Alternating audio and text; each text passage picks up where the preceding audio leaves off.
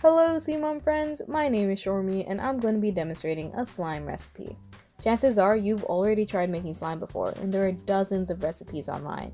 But this recipe conveniently only requires two main ingredients and is also a favorite among our museum educators. So if you've made slime at CMOM before, this will probably start to feel very familiar. Without any further ado, let's get started. The first thing we're going to need is a bowl. And in that bowl, we're going to start to pour in our first main ingredient, the glue. So the amount of glue you pour in your bowl is about the amount of slime you're going to end up with. So let's try to be careful at this part. The second step is to pour in our second main ingredient, the liquid starch. The liquid starch in this recipe is something called a slime activator. What a slime activator does is makes the glue less sticky and gives us the slime texture we want. So we're going to add a little at a time and keep on mixing until we get the slime texture that we desire.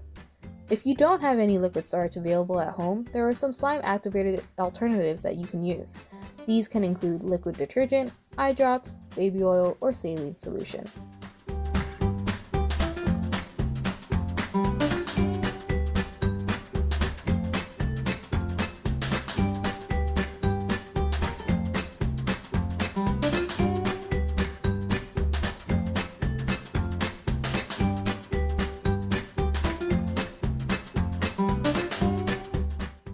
Once you've reached that desired slime texture, you can start to add in some optional ingredients as well.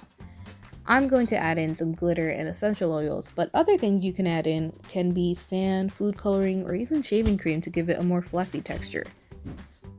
After mixing all of your ingredients in, you should have reached the end of your slime making process.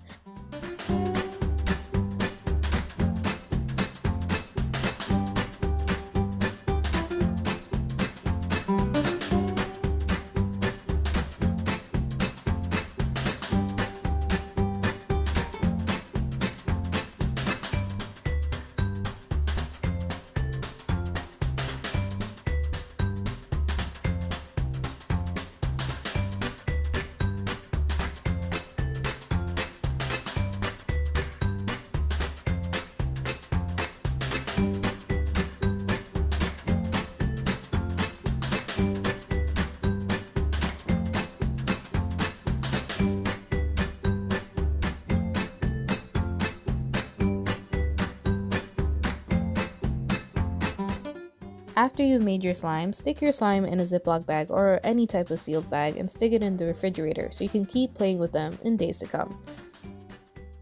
Thank you guys so much for joining. We hope you like the slime you made. Make sure to stay safe and keep the fun going on at home.